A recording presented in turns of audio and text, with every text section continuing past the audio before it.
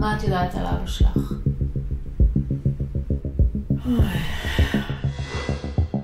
דיברתי איתו על הנושא הזה אולי בגיל 35.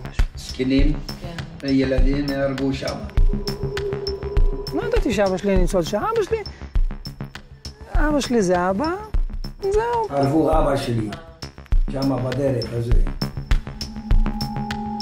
ההיסטוריה היא היסטוריה של אנשים. למרות שאנחנו הופכים את זה לעמים ומרחיקים את זה מאיתנו, זה בכל זאת היסטוריה של פרטים. תהרג אותי אבא שלי, אני ארג אותך. גמרנו.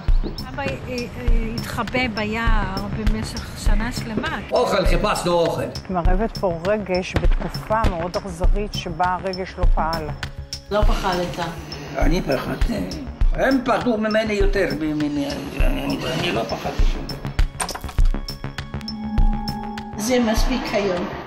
לא, אני אומר משהו, משהו. אני יודעת, אבל תפסיק כבר לדבר על זה. נגיד אם הבן שלי בוכה אז אני כועס עליו. אתה חי, אתה קיים, מה אתה בוכה? אין דבר כזה. מה, מה הרגשת? הגשתי להרוג גרבנים מגבר. נקמה, אני מקבלת את זה ב... בצורך שהיה צריך להיות.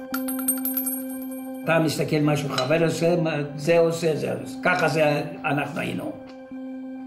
יד אחת, היא ראש אחת. אני עברתי את כל המלחמה, אני אתן שהם יהרגו אותי. נתתי להם בשביל אמא, בשביל אבא, בשביל שניהם. בשביל כולם. כן. אמרו להרוג, להרוג. שבויים אנחנו לא יכולנו לקחת.